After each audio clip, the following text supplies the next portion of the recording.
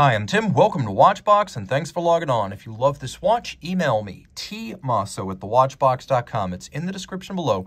Your purchase and pricing email question line for buying this or any watch you see on any Watchbox platform. Reach out to me for pricing. Email tmosso at thewatchbox.com. Today, we're discussing a 2018 model year limited edition of 288 pieces in grade 5 titanium. This is the Corum Admiral's Cup AC145 Squelette.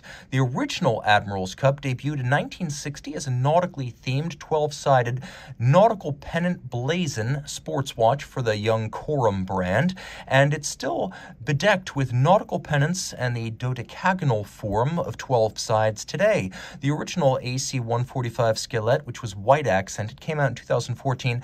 This watch was part of a trio that came out in 2018 in primary colors red, blue, and yellow, of which the Admiral's blue you see right here is by far the most versatile and wearable color. So now that we're up to speed historically, let's talk about the size. Grade 5 tie, polymer, and sapphire means this is a very light watch. Though it is 45 millimeters in diameter, it doesn't feel it. The watch is 13.5 millimeters thick, and from lug tip to lug tip, it measures 51 millimeters with a 23 millimeter spacing between the lugs. Now note that the strap is fully integrated. There's no daylight, there's no gap. But unlike a lot of integrated straps, this one doesn't fight it doesn't flare. It doesn't want to arc out beyond your wrist. It exits vertically out of the lugs. So though it's integrated, it doesn't create the fit problems that most integrated straps do. There's striation externally. You can see it's a brand new Corum factory strap. It has a matching deployant clasp, a combination of polished and satinated steel. You close it, it's a double fold, and it's a twin trigger release. So you do have to press both triggers to open it. This is a 300 meter sports watch. It needs a secure clasp and it has that.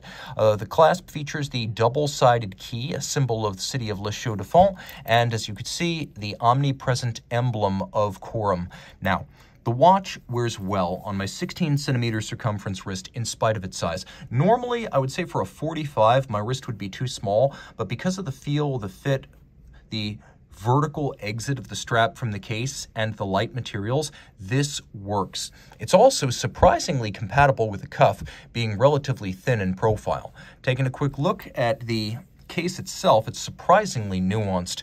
The Admiral's Cup case has always been a remarkable one because of the dodecagon, but often that's been a feature of the dial and the bezel. Here we have a remarkable combination of different satinated and polished elements of grade 5 tie. You can see that lateral screws are inserted for this complex case assembly. It's highly layered. We have metal, we have polymer, and then we have sapphire on the top. You can see that the outermost face of the bezel is satinated. Then there is a transitional profile profile and polish. Then vertical set satination on the top. We have a crown guard, again, the key of Le Chaux de Fonds. Double road knurling for the crown. It is a screw-down crown, 300 meters water resistant. It better be a screw-down crown.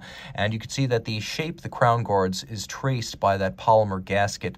You can also appreciate that the watch includes a remarkably complex combination of bezel, crystal, and dial, reminiscent in some ways of the first generation Roger Dubuis Sympathie, but whereas that was difficult to make 30 meters water resistant, this must have been a bear to make 300 meters water resistant, as shaped crystals tend to be very challenging in that regard. Now, you can see we have nautical pennants, one at each hour, a longtime symbol of the Admiral's Cup. We have a nickel anthracite flange that unifies the bezel with the dial base. We have a cantilever date frame as well as hour indices, which are steel and rhodium plated. The hands are also steel and rhodium plated.